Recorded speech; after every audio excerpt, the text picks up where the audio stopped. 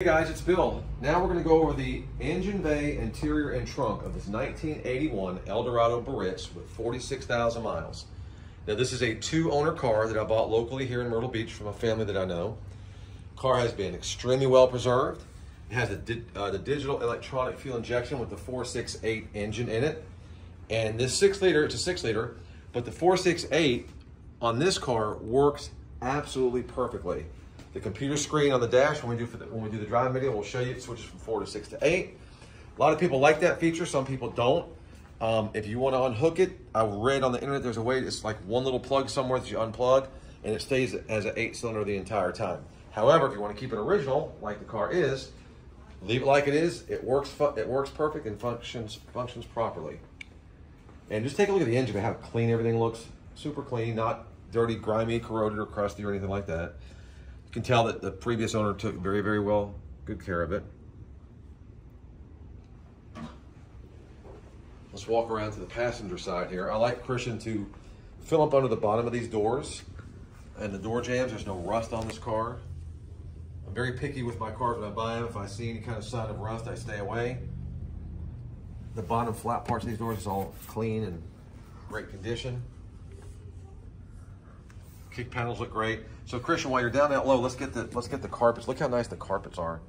Super clean, original. The floor mats are in great shape. Let me pull this.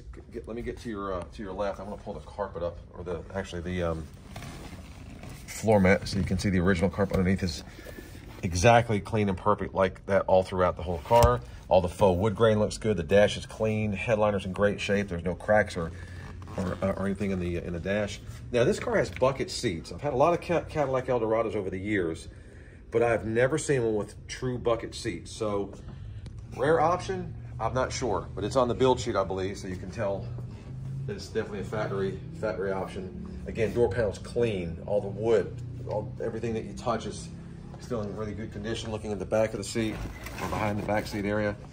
Again, carpets perfect, clean, no stains. Car smells good, doesn't appear to have been smoked in. All the rubbers around the doors, all this, uh, these are all soft. The window trim is soft. And even these, and these are these are original, they're not replaced, but they're very soft and supple. A lot of times get extremely dry and cracked. These are not like that, very clean. Coming around to the trunk. The uh, rubber on the trunk is very soft and very clean. It looks really good very plush, thick carpet in the trunk. Have some uh, service manuals in the back, a build sheet, which is nice.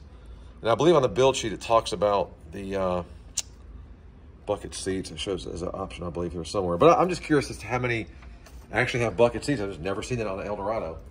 Now, let me show you how the uh, operation of the trunk works. Because as you guys know, it has the automatic power closing trunk. Just gently touch it. Coming around to the driver's side. Again, concentrate on the door jambs. That tells a lot of the story of the car as far as the condition of the rest of the car, as far as not having any rust or rot or, you know, crud on the door jambs, up under the doors, none of that stuff.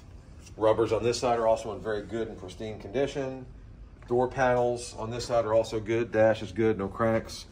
And look, I mean, look at this. For a 40,000 mile car, look, I mean, the, the, the leather's held up tremendously well. It hasn't been dyed or redone. This is just original. The top of the steering wheel. Sometimes from jewelry, from men or women wearing rings, will get all scratched up.